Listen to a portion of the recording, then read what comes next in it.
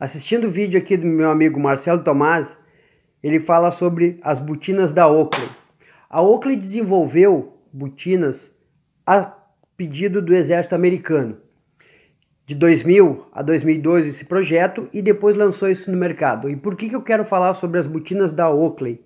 Na verdade, o que nos trouxe hoje disponível para o mercado, a botina da Oakley, em 2000, a partir de 2002, ela chega para nós e aí nós conseguimos ter acesso a essa tecnologia que foi empregada para o exército americano. E isso nos traz para o nosso dia a dia equipamentos é, com esse intuito de atender aos mais diversos padrões e os mais diversos campos e terrenos e objetivos e fins que são as botinas. E hoje o que, que eu quero trazer para mostrar para vocês? Uma botina que é feita aqui no Rio Grande do Sul, uma botina da Dax, uma botina muito interessante, muito legal. Essa é uma botina que ela é feita uh, com um cabedal de couro, então essa ponta dela aqui na frente, aqui assim, é toda em couro. O que, que ela tem? Ela tem os detalhes em cordura, em cordura 500, que deixa ela também extremamente resistente. A palmilha dela é uma palmilha é, bem confortável e por dentro a forração que ela tem aqui dentro aqui, ó, é uma forração acolchoada de 5 milímetros. Parte de baixo do solado também, um solado que ele tem aqui todos esses detalhes para poder agarrar e fixar bem em qualquer terreno. Ela tem uh, embaixo do solado dela, para ficar firme, resistente assim, é um solado em PVC de extremamente leve e com uma dureza é, muito interessante de falar, muito resistente a essa dureza, porque ela chega a ter até 45 shorts de dureza, se não estou enganado.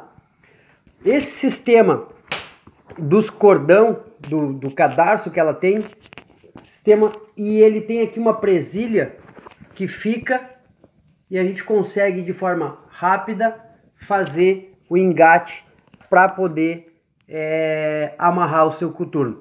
Esse turno aqui é um coturno com uma altura menor, com uma altura dele é, mais baixa. Tem coturno mais alto também e coturno que ele fica tipo uma botinha.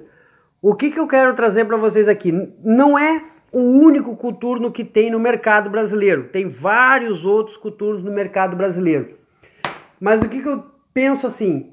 Em função desse coturno que está aqui atrás aqui, que o Marcelo está apresentando, que é um coturno da Oakley, esse coturno da Oakley é o que deu a entrada no mercado para equipamentos como este aqui, que é feito hoje pela Tactical Dax.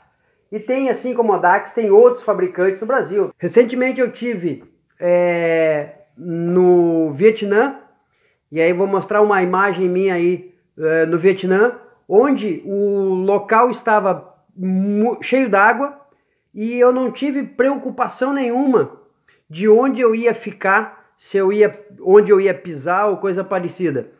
Então eu caminhei de forma bem tranquila, mesmo tendo água, e eu não me preocupei, não que a bota seja impermeável, ela não é impermeável, mas essa altura de solado e essa proteção de couro que teve aqui me deixou tranquilo na hora de eu me movimentar para algum lugar e outro, mesmo no ambiente que tinha poças de água, estava bem úmido.